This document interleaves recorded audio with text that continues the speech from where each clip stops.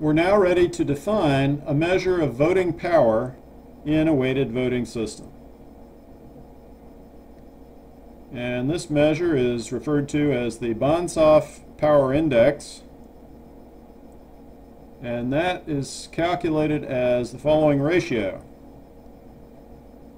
For each voter, you count up the number of times the voter is critical.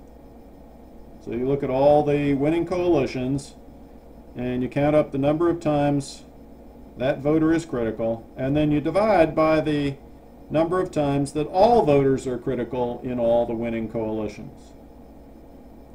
Okay, so you do that for each voter, and that gives you your measure of power. Okay, so for example, let's look at the uh, previous example again and, and find the Banzhaf power index for each voter. Okay, so let's go back to that chart where we have the winning coalitions given there.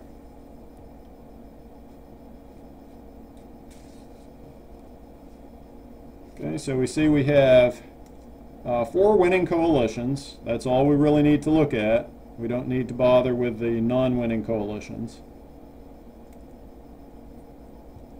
And then for each voter, we count up the number of times that voter is critical.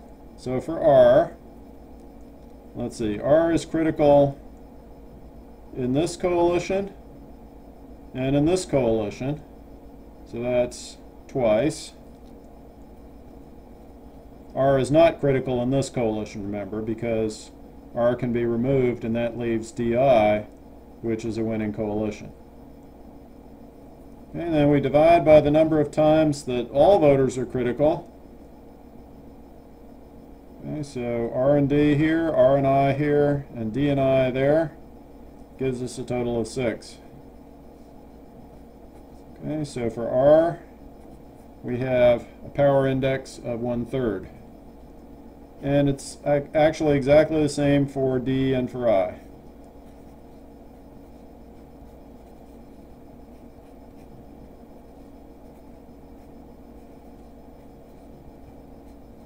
So each of the voters has power index one-third according to this calculation.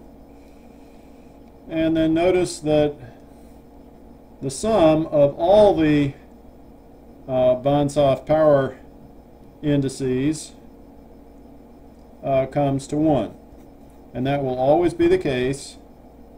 If you've done your calculations correctly, then the total of the Banzhaf power indices must be 1. If the total is not 1, then that means you must have made a mistake somewhere.